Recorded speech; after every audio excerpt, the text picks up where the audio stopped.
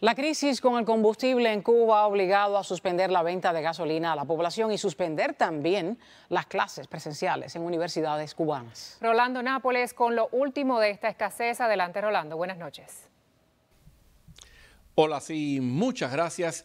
Y hoy cubanos denuncian en redes sociales que en apenas la última semana en la isla ya la gasolina en el mercado negro está 200 pesos más cara.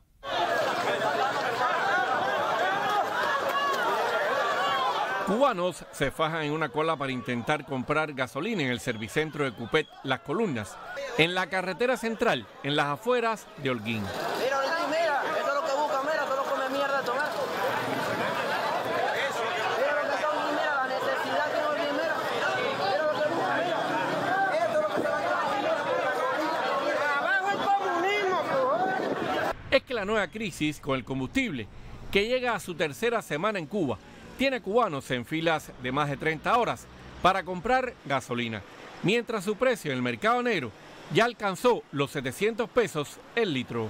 Es de madre meterte como antier que yo salí de una cola de 33 horas de cola para echar 20, 25 litros de gasolina y no te dejen echarlo de lado porque no te están dejando. La crisis con la gasolina es tal que en Vía Clara el régimen ya le dijo a los cubanos que no contaba con la disponibilidad de combustible para la venta a la población y que solo le garantice una cifra mínima a transportistas privados con licencia para la transportación pública. Cinco cuadras.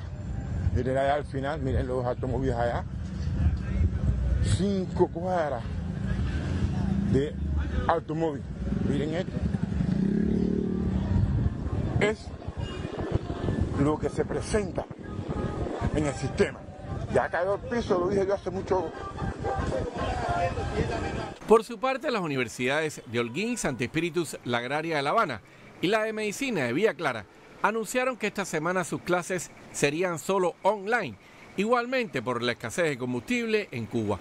Esa crisis, por la que incluso el régimen también acaba de suspender un concierto de la Orquesta Sinfónica Nacional de la isla en el Teatro Nacional de la capital cubana. No están dejando echar en pomo. Si, tu tanque es de 30 y, llegaste ahí con, con 5 litros, sabes que lo que te ganan son 25. Los otros, adiós, chao.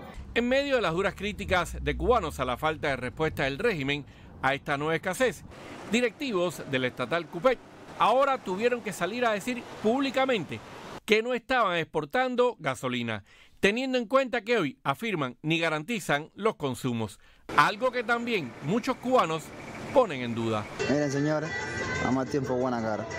Cuando miran en medio de una cola.